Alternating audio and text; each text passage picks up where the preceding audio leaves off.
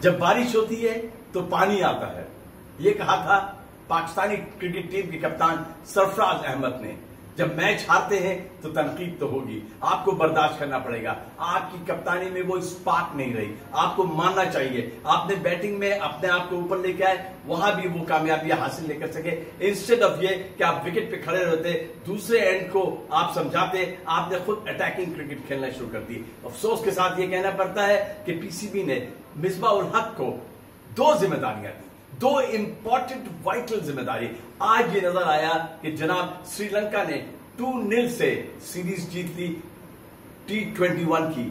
پاکستان کی cricket team I سی سی کے ranking پہ نمبر ون ہے۔ اور آج سری لنکا کی ایک سیکنڈ ڈسٹنگ ٹیم کو، جس کو لوگ کہتے تھے کہ یہ بالکل بیبز ہیں، ان کو انہوں نے پاکستانی کرکٹ ٹیم کو یہ بتا دیا کہ کرکٹ کیسے کھیلی جاتی ہے ٹی ٹوینٹی کے فارمیٹ کو کس انداز میں کھیلا جاتا ہے۔ مصباح صاحب، آپ نے جو ان ریلائبل جو چینجز کی، اس کا خمیازہ یہ بھگت رہے ہیں۔ آپ سلیکشن کمیٹی کے چیئرمین ہیں، آپ ہیڈ کوچ ہے آپ کی امپورٹنس ہے، آپ کے پاس، دیکھیے، یہ مشکل کام ہے۔ دو اہم اہم عہدے آپ سنبھال رہے ہیں۔ اس کا نتیجہ ہوا کہ آج سری لنکا کی کرکٹ ٹیم نے پاکستان کو ٹی ٹوینٹی میں سیریز میں ہرا دیا۔ ہیڈس آف ٹو دیم کیا انہوں نے کرکٹ کھیلی ہے؟ کیا فائٹنگ اسپرٹ تھا؟ کہیں بھی وہ ڈیفینسو نظر نہیں آئے۔ انہوں نے پہاڑ جیسا اسکور کھول کے آپ کے سامنے رکھ دیا۔ شروع سے ہی پہلے یہ پتہ چل رہا تھا جس میں پاکستان کی کرکٹ ٹیم بیٹنگ کر رہی تھی کہ یہ انچیزبل اسکور ہے۔ ٹین پلس ٹین پلس کا ایوریج سے آپ نے چیز کیا،